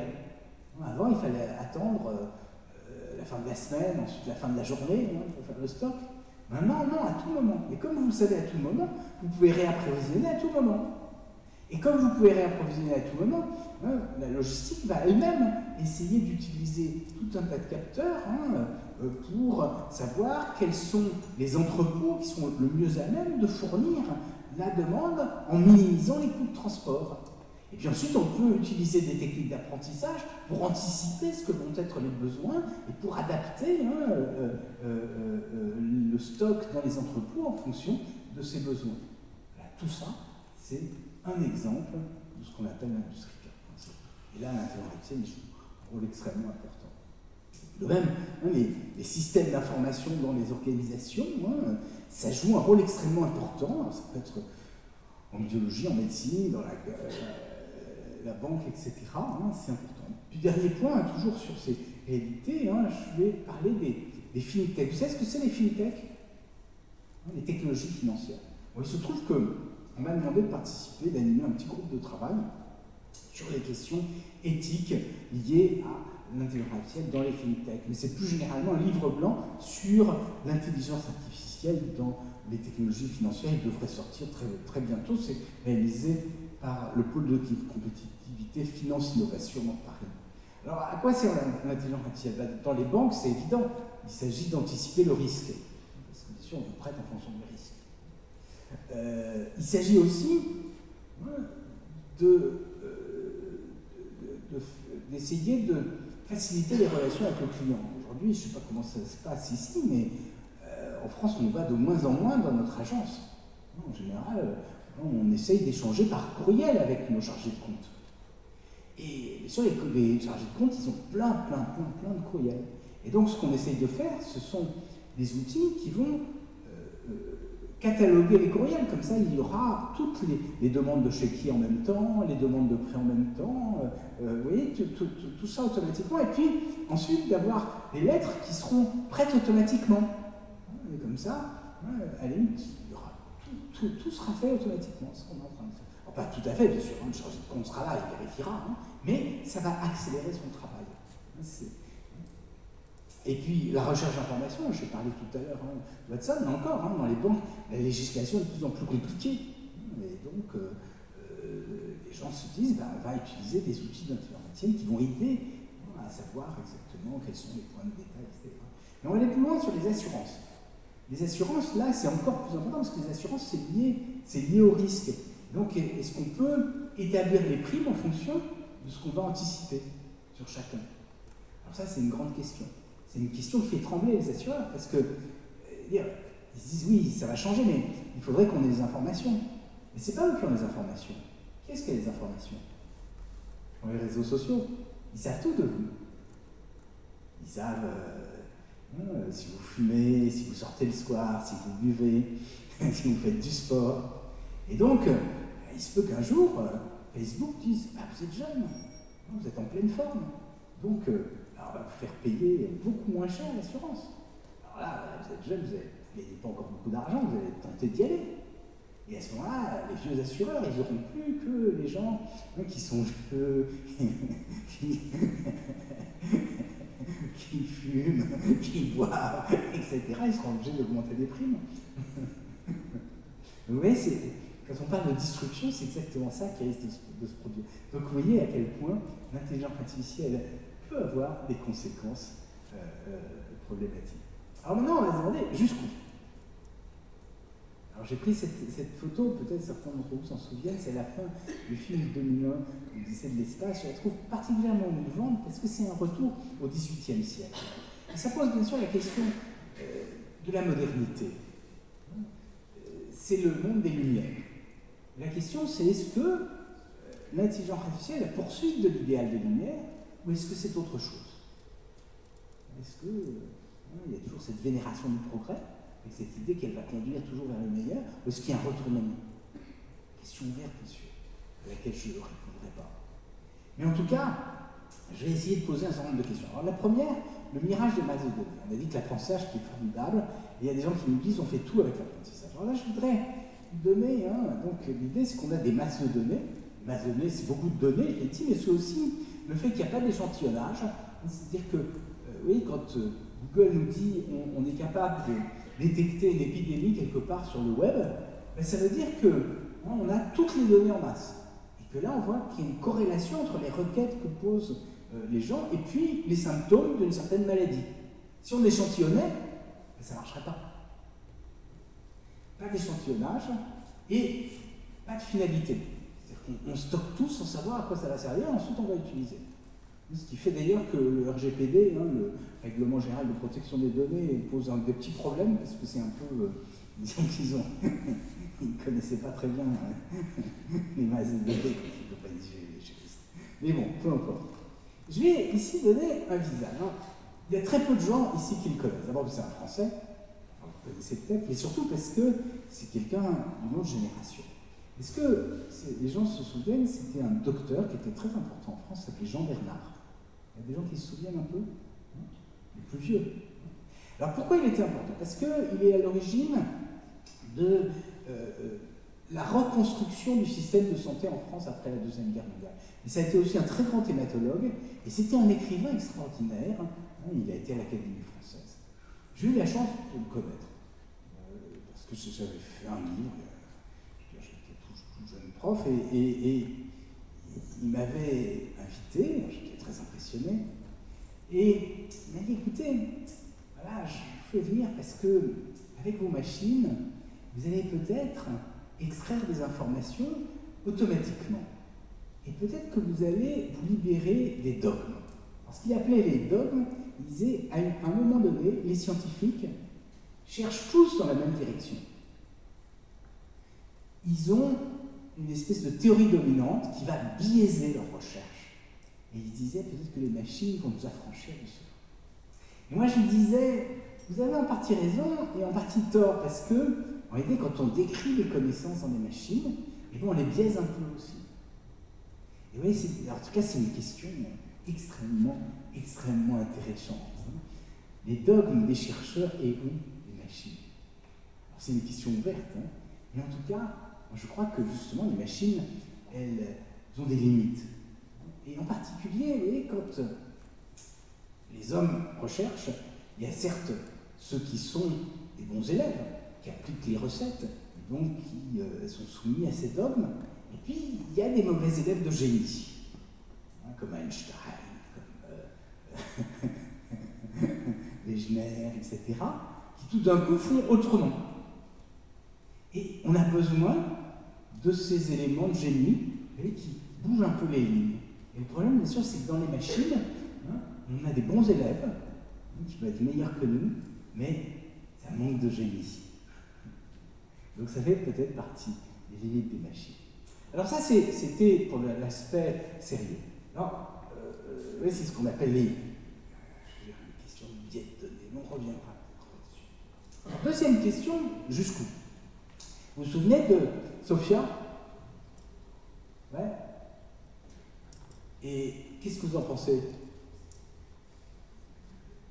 Est-ce que c'est de l'intelligence artificielle? Non. C'est un discours enregistré. C'est une escroquerie. Donc, il ne faut pas aller jusqu'aux escroqueries. On nous a expliqué qu'effectivement, hein, il y avait de l'intelligence artificielle. Alors, vous voyez, c'est de la mécatronique, c'est-à-dire que les mouvements des muscles du visage, on a l'impression qu'elle exprime quelque chose. C'est tout. Et on lui a donné la citoyenneté saoudienne. C'est très intéressant. Parce que, euh, qu'est-ce que c'est que la citoyenneté dans un pays comme euh, l'Arabie saoudite? C'est quoi? C'est un acte d'allégeance au souverain. Un robot, il peut faire acte d'allégeance au souverain, ça ne me choque pas. Mais chez nous, qu'est-ce que c'est la citoyenneté? C'est voter. Voter, c'est quoi? Exprimer un vœu c'est-à-dire une volonté. Alors non, il y a une ambiguïté là-dessus. C'est-à-dire que c'est citoyen au sens de l'Arabie saoudite, c'est-à-dire au sens de la soumission, pas au sens européen du terme. Là, c'est central. Et je, il faut, il n'y a pas de volonté dans ces machines. C'est extrêmement important de le comprendre et de le savoir. Alors on va aller plus loin. Là, il y a une société qui vous dit on va, c'était la femme la première femme dans, des, euh, des fondateurs de Google, ont monté une société qui s'appelle Calico, California Life Company, qui a pour objectif de détecter dans le génome ce qui est responsable de notre vieillissement. Pourquoi? Ben, Ça fait rêver. Pour soigner le vieillissement. Rester jeune éternellement Est-ce que ça marche? Question ouverte. On sait que c'est bien plus compliqué que ça. Parce qu'il euh, n'y euh, a pas un gène qui est responsable du vieillissement, il y en a plein. Et que si on soigne un gène, on risque d'engendrer de nouvelles maladies, etc. En tout cas, ça n'est pas aussi simple que ça. Il n'y a pas de réduction de euh, l'ensemble des phénomènes vitaux à la machine. Et puis, les limites éthiques protection de l'intimité de la vie privée, euh, question de base de données de patients, les objets connectés par exemple, les, les stimulateurs cardiaques, les respirateurs, hein, j'ai parlé des syndromes d'apnée du sommeil, les gens vont avoir des stimulateurs chez vous, et en France, les assurances sociales disent ah ben tiens, on aimerait bien savoir si les gens les utilisent. Et donc ils veulent avoir des objets connectés, vous voyez Ça veut dire que les gens ils sauront exactement quand est-ce que vous couchez, combien de temps vous dormez, etc. C'est quand même assez, nouvelle vulnérabilité aussi, parce qu'il hein, peut y avoir des formes, de piratage de ces, de ces dispositifs. tout ça, bien sûr, ça pose des questions nouvelles qui sont liées au développement de l'intelligence. Puis on va aller plus loin, les questions de décision. On a dit, ben, on va avoir des systèmes qui font qui vont décider automatiquement, par exemple en médecine. Et ils vont peut-être décider mieux que le médecin. Et à ce moment, on dira au médecin, bah, si vous prenez une décision, à ce moment-là, vous prenez, vous prenez sinon c'est la machine. Ça pose des questions, est-ce qu'on va laisser les machines décider à notre place? Vous avez un, un, livre qui parle de ça, qui a eu un très très grand succès, qui est Homo Deus de Harari. Je ne sais pas si vous l'avez, certains d'entre vous l'ont lu certainement. Je, ne suis pas d'accord avec tout ce qu'il dit, mais en tout cas, pose très bien la question. Il y a beaucoup de talent, bien sûr. Hein, mais, euh, et puis, la question de la transparence, par exemple. Jusqu'à quel point Mais je voudrais parler de, dernier point, réparation, augmentation. Hein, donc on parlait de la médecine. Bah, c'est bien qu'on nous permette, quand on a une jambe qui nous manque, de mettre une prothèse, etc. Mais pour essayer de bien comprendre le problème, je vais prendre un petit exemple. Vous vous souvenez Oscar Pistorius, un champion du, monde à course à pied. il y a eu d'autres petits problèmes après, mais peu importe. Mais est-ce que vous connaissez, est-ce que il y, a, une femme que vous connaissez, Danielle Bradshaw Danielle Bradshaw, elle avait la même affection que Pistorius sur un pied. Elle rêvait de courir comme lui. Alors elle a demandé à son médecin, est-ce que vous ne pouvez pas me couper l'autre pied?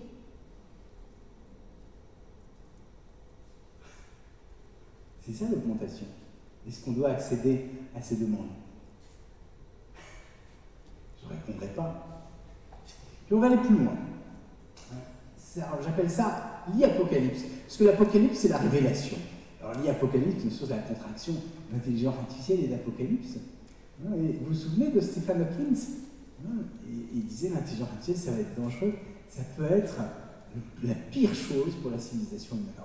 C'est un grand scientifique, donc on peut se dire, ah, attention, peut-être qu'il a raison. Et il y a Elon Musk qui lui a emboîté le pas. Oui, ça, date de 2017, hein, il a dit beaucoup de fois, hein, mais c'est assez. Elon Musk, euh, il a, il a dit c'est extrêmement dangereux l'intelligence artificielle. Il a même dit ça pourrait être une menace pire que la Corée du Nord.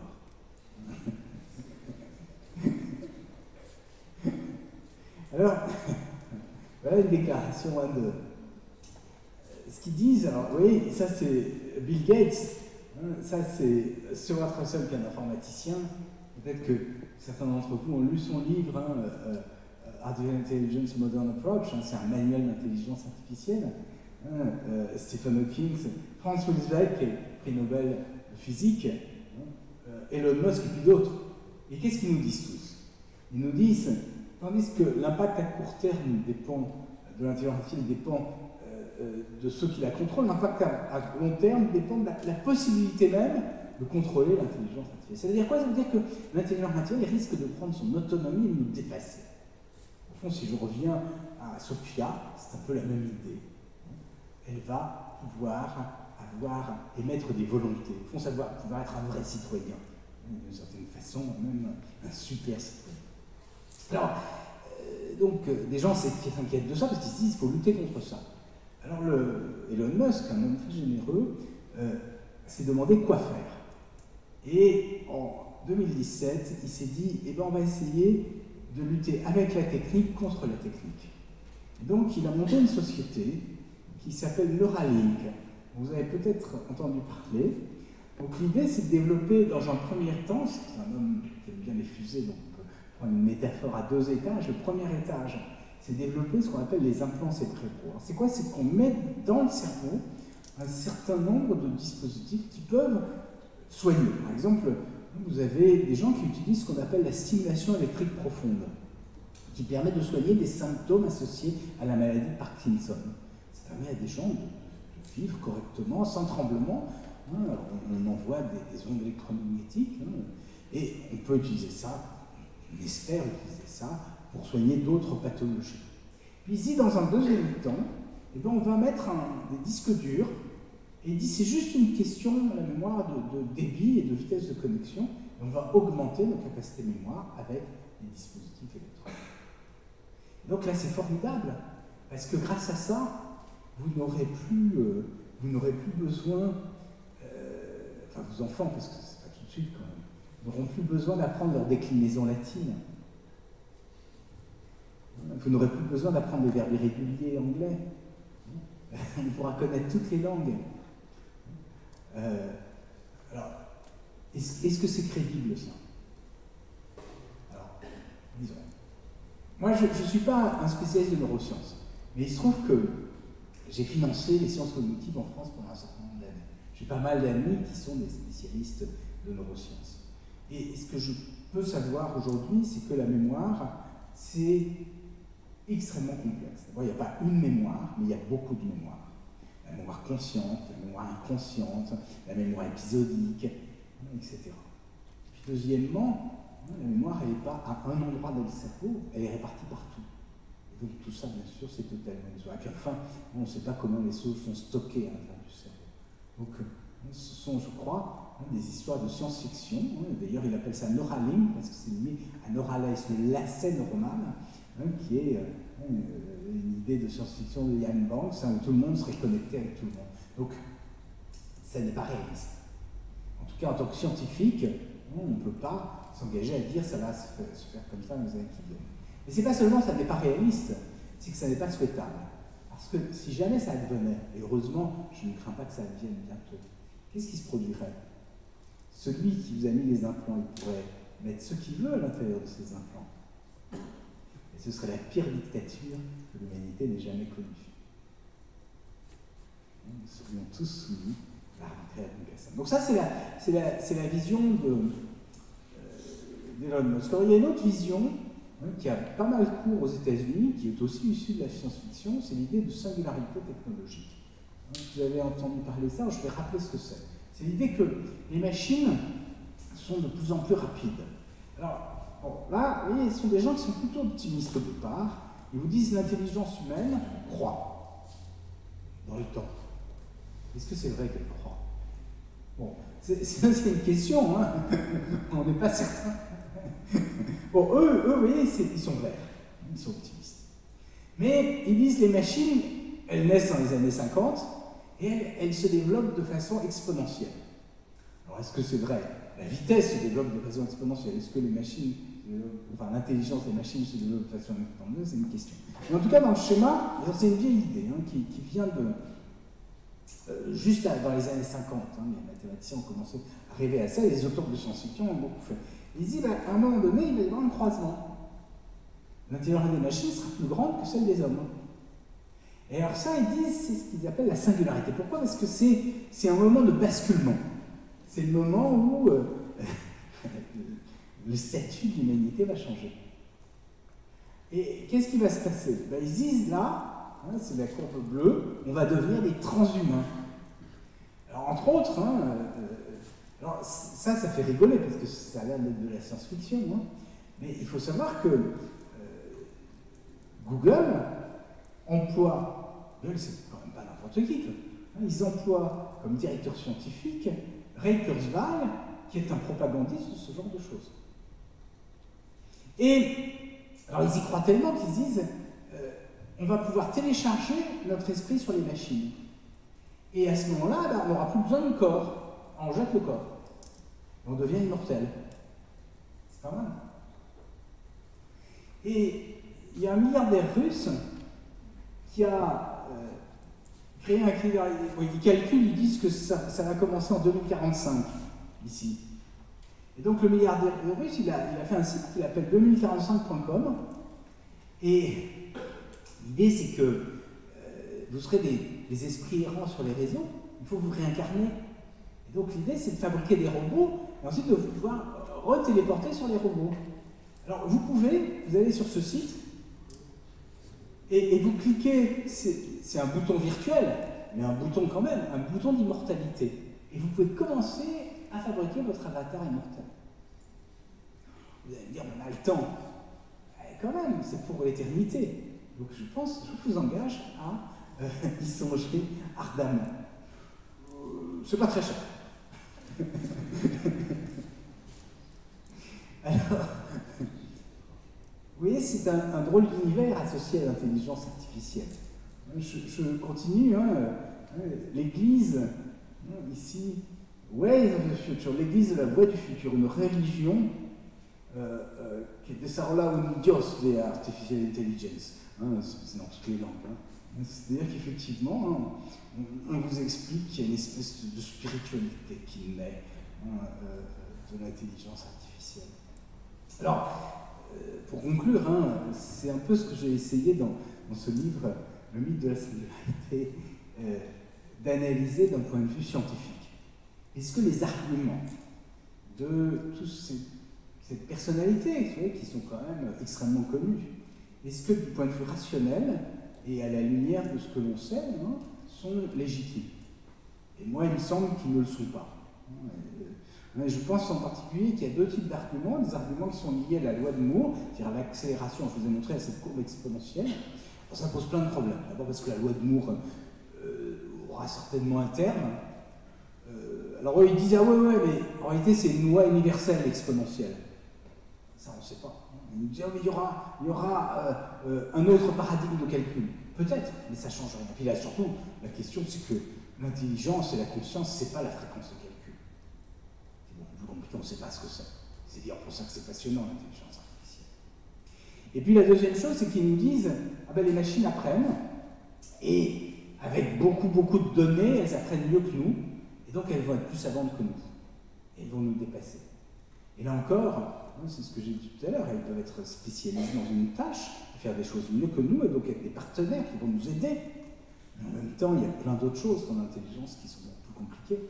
Et en particulier, hein, il y a le fait que ces capacités des machines sont limitées, c'est ce que j'ai dit tout à l'heure, parce qu'il hein, il y a des moments, il y a un, changement, ce qu'on appelle un changement de paradigme, une rupture épistémologique, le moment où tout d'un coup les concepts évoluent, et ça bien sûr, hein, c'est quelque chose qui est profondément lié à notre imagination, à notre intelligence, en tout cas, ce ne sont pas aujourd'hui les techniques d'intelligence artificielle qui parviennent à réaliser ces changements. Mais il y a surtout vraiment une, question, je crois, qui est importante de poser, ce qui est bizarre, c'est que je vous ai dit, Elon Musk, Ray Kurzweil chez Google, bah, vous dites c'est bizarre parce que ce sont les gens qui fabriquent les technologies qui vous expliquent qu'elles sont dangereuses. C'est comme si un, marchand de cigarettes vous dit Attention, le tabac, c'est dangereux. Il a qu'est-ce qui se passe? Et, ça, je crois qu'il faut se méfier. moi, j'appelle ça des pompiers pyromanes. C'est-à-dire que c'est les gens qui mettent le feu, vous expliquent comment l'éteindre. Google, il vous dit maintenant, ah, il faut être éthique. On va faire de l'intelligence artificielle c'est nous qui allons vous donner les règles. Alors, je pense qu'effectivement, il faut se préoccuper d'éthique. Mais s'il y a bien des gens qui ne doivent pas se mêler trop de ça, c'est eux. C'est pas eux de nous expliquer ce qu'il faut faire c'est à nous de réfléchir à ce qu'il faut faire et de leur imposer. En qu'ils ne veulent pas que ce soit les États qui ont peur qu'on leur impose un certain nombre de règles. Hein, Facebook, il dit ah, on va, on va, être éthique. Hein. Bon, on a vu comment ils se sont comportés. Hein, ça pose des problèmes. Vous savez, euh, on parle beaucoup des fake news. Il y a eu un rapport de la Commission européenne, ici, de la division Connect, l'an dernier, Bon, il se trouve que moi, en tant que président du comité d'éthique du CNRS, j'avais contribué à un rapport sur la question de la posture des scientifiques à l'ère de la contre-vérité. Quand on vous dit des choses sur le climat qui fausses, qu'est-ce que vous faites? C'est difficile. Parce que si on, affirme trop fort des choses, les gens vont me dire ils se prennent ces gens, et puis peut-être qu'ils sont intéressés, ils ont peut-être des intérêts, non, je sais pas quoi. Non, c'est pas ça. Mais il faut savoir comment faire pour faire connaître les choses. Et donc, euh, euh, la Commission européenne a dit bah, on va essayer de rédiger un rapport là-dessus. Puis j'ai lu ce rapport et il dit oh, ben, c'est simple, il suffit de faire du fact-checking. ça me semblait quand même très technologique comme solution et assez simple. Puis je regarde la liste des experts, là il y avait 29 experts, et il y avait trois grandes compagnies européennes que vous connaissez très bien Google, Facebook et Twitter. on se dit quand même ça pose problème. Et après, il y a un, juste, quelqu'un qui a dit on ne veut pas signer la, la conclusion du rapport regarde ce qu'il dit, c'était très intéressant. Il dit, le vrai problème, c'est que ce rapport a fait l'impasse sur la principale cause des fake news. C'est quoi? C'est le modèle économique qui est, fondé sur, ce qu'on appelle le clickbaiting, c'est-à-dire la rétribution au nombre de clics. C'est la popularité d'une information qui va faire qu'elle va rapporter de l'argent. Donc bien sûr, plus c'est faux, d'une certaine façon, plus ça va rapporter de l'argent, parce que plus c'est étonnant. Et je suis sûr qu'on se fait tous prendre à ça un truc C'est une nouvelle pour un journaliste. Hein, hein, on dit, euh, euh, euh, Un chien mord son maître, ça c'est pas une nouvelle. En revanche, un maître mord son chien, ça c'est, une nouvelle. Alors, donc, pour revenir là-dessus, hein, je crois qu'il faut, il faut vraiment se méfier. Ce sont de, nouveaux pouvoirs. Moi, j'ai une théorie, hein, je, terminerai là-dessus, hein, c'est une théorie politique. Ce que je crois, c'est que ces grands acteurs de l'Internet, non seulement ont eu des réussites économiques euh, incroyables, n'ont jamais, on n'a jamais vu des réussites aussi rapides que celles-là, aussi massives. Mais ils ont une telle puissance que je crois qu'ils veulent se substituer aux États. C'est-à-dire que là où, pendant longtemps, les, industriels étaient très liés aux États, au fond, c'est les États qui défendaient leurs propres industriels, là, on a quelque chose d'autre. Des industries qui veulent assumer, à la place des États, un certain nombre de prérogatives. Et mon idée, c'est que si on pense à ce que sont les, attributs de la souveraineté, et en particulier ce qu'on appelle les prérogatives régaliennes, on peut les analyser, on voit que, effectivement, ces grands acteurs veulent intervenir dans ces champs-là. Par exemple, sur la sécurité intérieure, hein, il y a des réseaux sociaux qui disent aux États, bah, écoutez, euh, nous, on, va, ça va être bien plus simple, hein, on, va vous faire l'état civil. En plus, on connaît plein d'informations sur tout le monde, hein, ne vous embêtez pas, ça coûtera moins cher. Ou le cadastre, des États, en Europe, en Grèce, par exemple, il n'y a pas de cadastre. Google bah, écoutez, nous, on sait faire ça, ça coûte pas cher. Et déjà, je crois qu'en France, on fait payer les, taxes sur les piscines, on les repère automatiquement avec les. etc. Euh, enfin, je ne rentre pas dans le détail, mais en tout cas, c'est une question. Le privilège de, battre monnaie, par exemple, hein, c'était vraiment réservé aux États. Donc euh, maintenant, je dire, un abandon de souveraineté conscient, comme dans la communauté européenne. Hein. mais là, tout d'un coup, des acteurs qui battent monnaie, c'est pas commun. Et les banques centrales ont été très, embêtées là-dessus. Ben voilà. Alors je voudrais conclure là-dessus, pour entamer une, une, discussion. cette conclusion, c'est euh, euh, la singularité technologique, mais on pourrait le dire de beaucoup d'autres fables du monde contemporain, c'est que ouais, elles me font un peu penser, et on a vu que c'était une nouvelle religion, hein, à, ce que, vous vous souvenez, on disait que la religion, les marxistes euh, disaient, c'est l'opium du peuple. On pourrait dire que hein, ce sont de nouveaux opiums du peuple. C'est que ça fait peur, en réalité ça permet de masquer ce que sont ces nouvelles réalités politiques qui sont en train de se faire jour. Je crois qu'il faut faire en sorte que cette peur-là, qui est artificielle, qui correspond à rien, ne masque pas les véritables dangers qui sont ceux euh, du monde de demain. Je crois qu'il faut affronter les réalités telles qu'elles sont ne pas se laisser bercer par des fables absolument absurdes alors soit enthousiasmante pour les gens qui veulent devenir éternellement jeunes ou immortels, soit terrifiante pour ceux qui se disent que l'humanité est fichue, la réalité est tout autre. Et c'est de cette réalité, je crois, euh, qu'il faut parler aujourd'hui. Merci.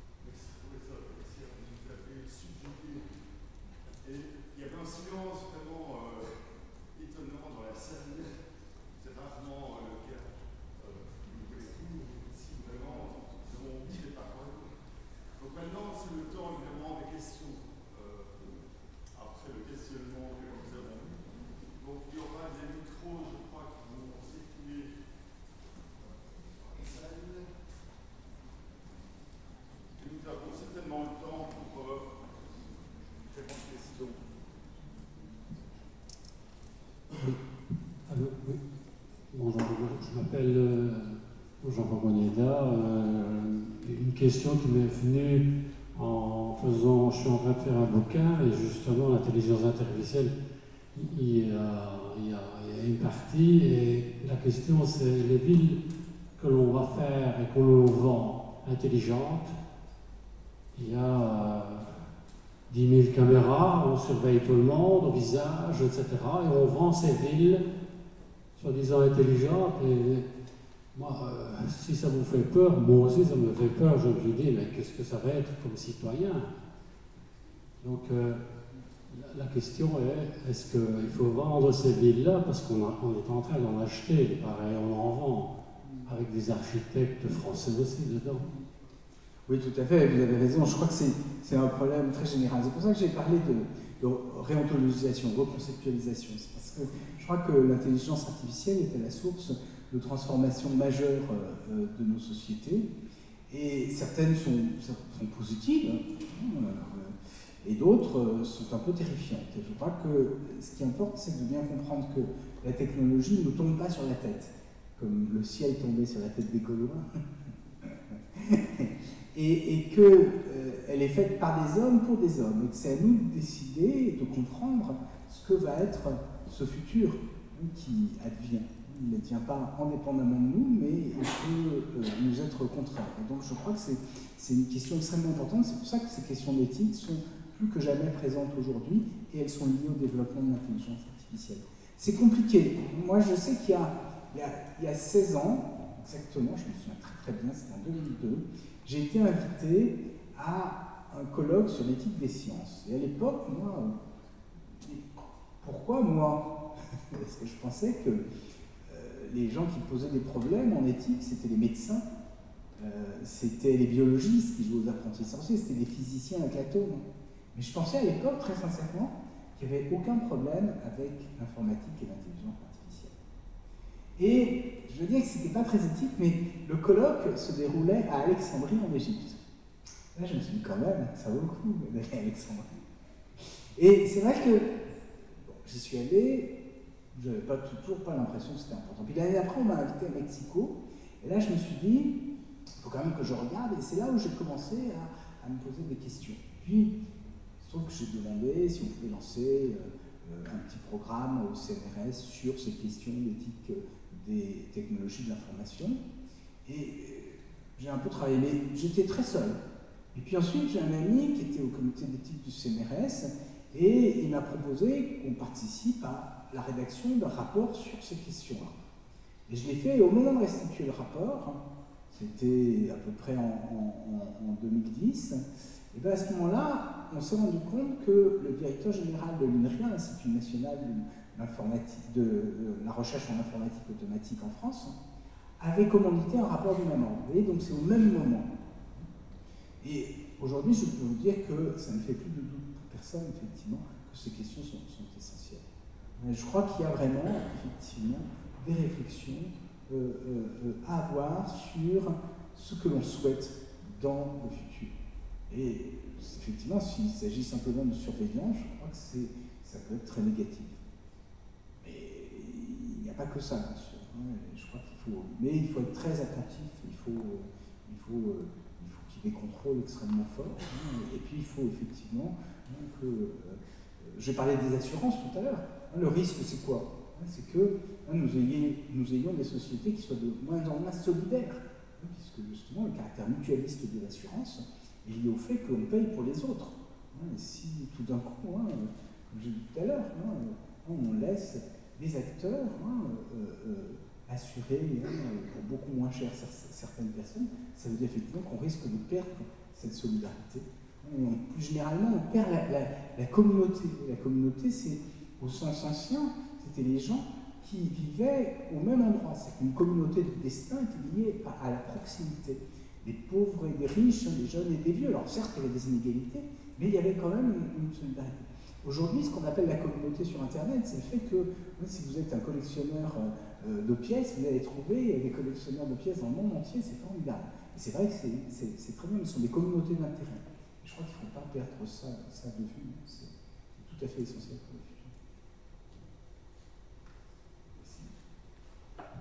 D'autres questions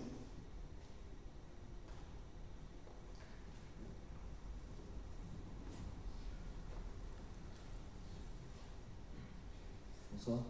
Euh, j'ai une petite question sur la technologie de l'intelligence artificielle.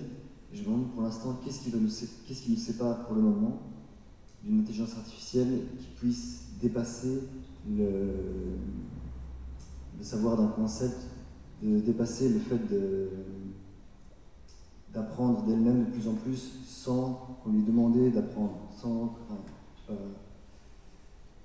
Alors, première question, est-ce que les machines nous dépassent? Elles nous dépassent elles nous ont toujours dépassé.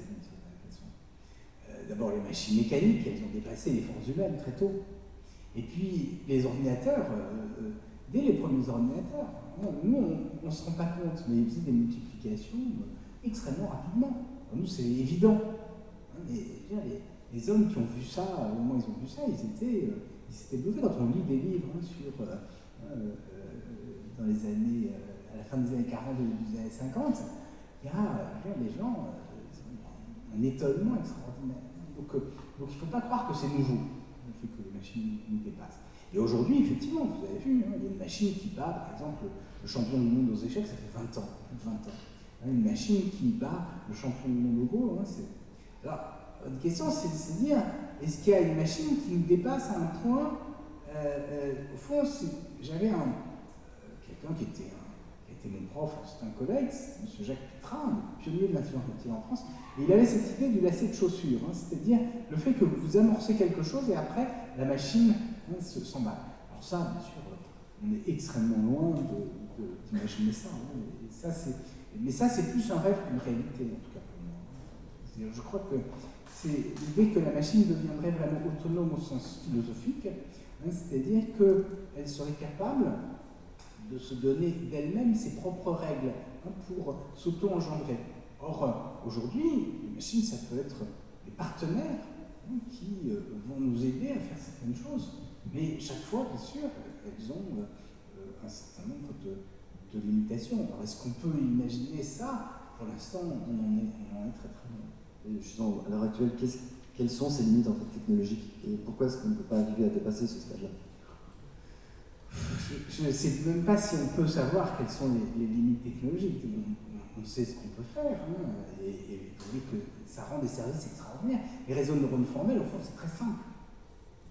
Et, euh, on ne sait pas très bien pourquoi ça marche. Mais on sait en même temps euh, quelles sont les limites que j'ai exposées tout à l'heure. C'est-à-dire qu'elles euh, seront toujours hein, liées à un objectif particulier. Elles font la classification donc ce sont des choses au fond qui ne sont pas si complexes. Hein. On a imaginé d'autres choses, mais chaque fois, bien sûr, on face à des limites, et en même temps avec des applications qui sont extrêmement utiles, qui nous permettent d'aller euh, de transformer tout un tas de, choses. Vous voyez bien que l'économie se transforme, euh, la médecine peut se transformer, etc.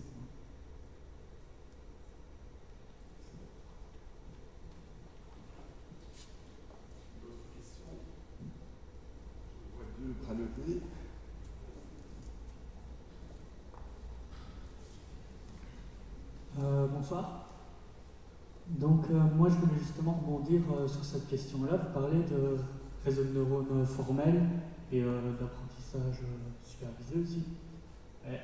Est-ce que ça ne va pas changer à un moment donné? Est-ce qu'on ne va pas trouver quelque chose de nouveau pour faire de l'apprentissage non supervisé déjà et avoir quelque chose par exemple qui se rapproche plus du cerveau humain que oui, machine. Vous avez raison. L'apprentissage actuel des machines est très éloigné de ce que font les hommes. En particulier, il faut énormément d'exemples pour être capable d'apprendre. Or, un enfant, vous lui faites apprendre avec trois exemples, quatre exemples. Donc, euh, on ne mime pas du tout ce que font les hommes. Et il y a des travaux qui se font pour essayer de le faire. Il y a beaucoup de choses. L'intelligence artificielle, comme je l'ai dit tout à l'heure, c'est très vaste. Et il y a plein de techniques. Et les techniques de réseau de neurones formels, c'est limité à des données qu'on appelle non structurées, comme des images ou de la parole. Mais si on a d'autres types de données, à ce moment-là, ce sont d'autres techniques qui sont adaptées. Et il se peut effectivement hein, que euh, on fasse des progrès dans, le futur, en particulier l'apprentissage non supervisé, c'est important, mais ça permet de, trouver de nouvelles notions éventuellement. Mais là-dessus, on, est, on, essaie. Hein. mais bon, on a des petits résultats, mais en tout cas, on n'est quand même pas. Euh, euh, on pas affirmer justement qu'on a de très grands résultats. C'est pour ça que la recherche est passionnante, parce qu'on peut trouver des choses nouvelles qui pourront rendre des services supplémentaires. On peut aussi avoir euh, de, l'apprentissage. Euh, vous savez, souvent on parle de la conscience. La conscience, c'est un mot qui recouvre des choses très différentes. Il y a au moins trois exceptions de la conscience. Euh, vous pouvez regarder un, aspirateur qui vous dit tiens, il est conscient. C'est une, conscience comportementale. Une machine se comporte comme si elle était consciente, c'est vous projetez quelque chose dessus. ça, il n'y a aucun problème, on fabrique des machines de loin, vous dites ah ouais, tiens, elle a l'air consciente. Après, vous dites ah non, c'est que, des flux, des flux d'informations. Deuxième acception de la conscience, c'est le fait que une machine soit capable, ou vous-même, d'être conscient de ce que vous, représentez vous-même. Hein, euh, la morale, justement, c'est la conscience au sens où vous dites, mais qu'est-ce qui se passe si j'agis comme ça? Quelles sont les conséquences de ce que je fais? On pourrait imaginer une machine qui, s'observe. Et il y a des travaux qui, ont, euh, qui ont abordé cette question-là. Peut-être que ça fera des progrès, qu'elles sont capables de s'améliorer, de ne pas refaire deux fois la même erreur, etc. Et puis, troisième aspect de la conscience, alors là, c'est beaucoup plus délicat, hein, c'est la, perception, la sensation, euh, l'émotion, hein, la douleur. on ne sait pas du tout ce que c'est. Mais ça, ça c'est très mystérieux. Il y, a, un très bel article que peut-être euh, vous avez déjà lu, écrit par un, philosophe anglo-saxon qui s'appelle Thomas Nagel. Et cet article, c'est What it is like to be a bat. Qu'est-ce que, ça vous ferait d'être une chauve-souris Elle dit, mais imaginez, fermez les yeux, imaginez, hein, vous êtes pendu toute la journée hein, par les pieds dans une grotte. Hein. Ensuite, vous levez la nuit, vous volez. vous avez des infrarouges, enfin des, ultrasons pour, euh, pour repérer le reste. Mais qu'est-ce que c'est la conscience? Qu'est-ce qu'elle Comment c'est le monde pour une chauve-souris? Ben, C'est la même chose pour une machine. Comment c'est le monde pour une machine? Vous voyez que ce serait quand même très très loin de nous. et donc, voilà, c'est très très très étranger. Ok, et euh, alors j'aurais une autre question. Euh, vous parlez de la singularité en 2045 pour certaines personnes, mais à chaque fois on parle du point de vue de la technologie, de l'évolution technologique qui va très vite, mais qu'est-ce qu'il en est au niveau social? Est-ce que les hommes vont suivre aussi vite que la technologie? Parce que c'est comme si on était dicté par la technologie, on était obligé de la suivre, et on ne prend jamais en compte que bah, nous on évolue lentement, et peut-être que c'est aussi ça va freiner. Oui, vous avez totalement raison. En réalité, le, sur les échelles de temps, comme euh, une trentaine d'années, ou même une centaine d'années, ou même mille ans, l'espèce humaine, est stable. Et ça, on a plein d'éléments pour, nous montrer. C'est pour ça que la courbe inverse qui augmente, elle est, elle, est, un peu absurde sur, le, sur ce que j'ai présenté tout à l'heure. Mais après, c'est exactement ça ce que je conclue. Oui, mais le problème, c'est que la, société, elle, elle, est en train de changer, et de changer très très vite. Et le risque, ce qui est, euh, euh, vous savez, comme quand il y a la tectonique des plaques, c'est-à-dire qu'il y a les tremblements de terre, c'est quand les, plaques euh, bougent, ben on risque d'avoir la même chose, et on le voit d'ailleurs, vous voyez, des, tremblements de terre politiques, hein, c'est-à-dire hein, des régimes qui, tout d'un coup, parce que des gens sont déphasés par rapport à la réalité, hein, des, aspirations qui peuvent être très destructrices pour la, pour la société. Donc effectivement, je crois qu'il faut être très prudent. C'est pour ça que je dis ici, euh, il faut que la peur ne masque pas les dangers. Les, vrais dangers, je crois, aujourd'hui, sont des dangers politiques. Hein, ce ne sont pas des dangers existentiels, contrairement à ce que nous disent euh, Stephen Hawking et, Elon Musk. Donc je suis tout à fait d'accord avec vous. Je pense que c'est vraiment l'enjeu majeur parce qu'on risque d'avoir des sociétés à plusieurs vitesses avec des gens qui vont bénéficier de ces technologies, qui aspireront, puis d'autres qui se sentiront laissés pour compte je crois que c'est extrêmement, extrêmement dangereux. Hein, et, je vous ai dit, bien sûr, le, fait que les sociétés risquent d'être de moins en moins solidaires aussi. Donc, tout ça, ce sont des, dangers considérables. Mais il n'y a aucune fatalité. Hein, et ça, je crois que c'est important aussi. Donc, contrairement à ce que euh, ces gens nous disent, hein, parce qu'on nous explique que la technologie, c'est ça, vous savez, ce que disait Stephen Hawking, mais ce que disent tous ces, grands gourous, ils nous disent ah ben la technologie se, déploie d'elle-même. Alors pourquoi ils nous disent ça? Parce que souvent, ce sont les, représentants des grands acteurs de l'Internet et ils nous disent Ah ben, c'est pas nous, c'est la technologie. Nous, on est que, euh, euh, je veux dire, on, est là, on observe, hein, et puis bon, puis on est gentil, hein, plus gentil que les autres. Je pense qu'il faut, il faut se méfier, je pense qu'il est temps aujourd'hui de reprendre prise sur le monde tel qu'il est euh, aujourd'hui avec la technologie. Merci.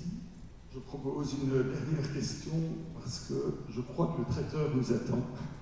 Donc euh, on pourra discuter autour d'un verre. Euh, on va euh, Je me demandais pourquoi vous aviez classé le traitement de la parole et la reconnaissance des formes comme une fonctionnalité réceptive et pas d'apprentissage. Le, langage est quelque chose d'appris tant chez l'homme que chez la machine. Pourquoi la reconnaissance des formes relève de la euh, perception, vous de la perception, c'est ça, et pas de l'apprentissage? Parce que euh, ce qui fait que vous, reconnaissez une forme, c'est que vous vous associez. Au fond, c'est une opération de ce qu'on appelle de l'entendement, vous voyez, du point de vue philosophique, qui fait passer hein, de l'information à, une catégorie. C'est ça la reconnaissance des formes. Et donc ça, ça c'est de la perception. Alors ensuite, la façon dont on réalise la reconnaissance des formes, ça peut être avec des techniques d'apprentissage machine. Hein, mais il faut bien dissocier les deux, hein, qui sont euh, le fait qu'on va fabriquer un système qui fait de la reconnaissance des formes par apprentissage, mais l'opération elle-même de reconnaissance des formes, c'est vraiment la perception.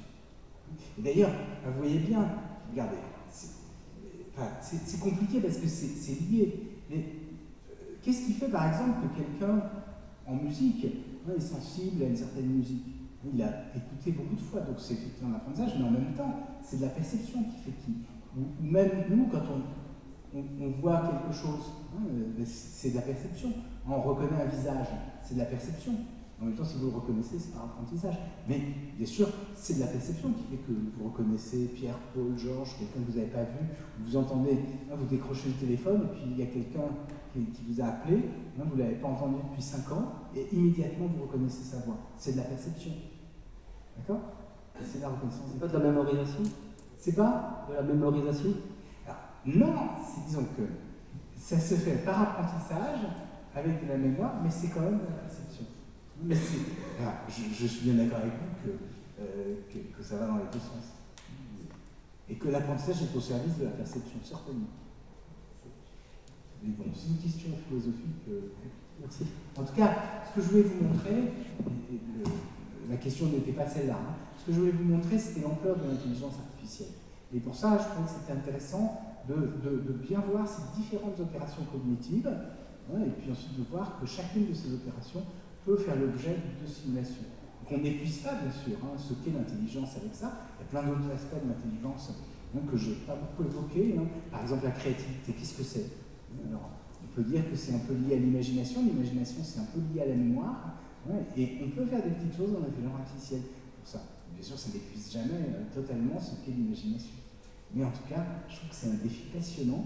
Euh, euh, enfin, moi, en tout cas, ça m'a passionné les années où je travaille ici, je continue à être passionné par le fait que, justement, on peut essayer de mieux comprendre certains aspects de l'intelligence, et puis ensuite essayer euh, d'utiliser les machines pour aller plus loin dans notre connaissance. Moi, je, travaille dans les humanités numériques, on travaille avec des littéraires pour essayer de mieux comprendre la, démarche des auteurs, hein, avec, différentes techniques. Là, je n'ai pas le temps d'en parler, et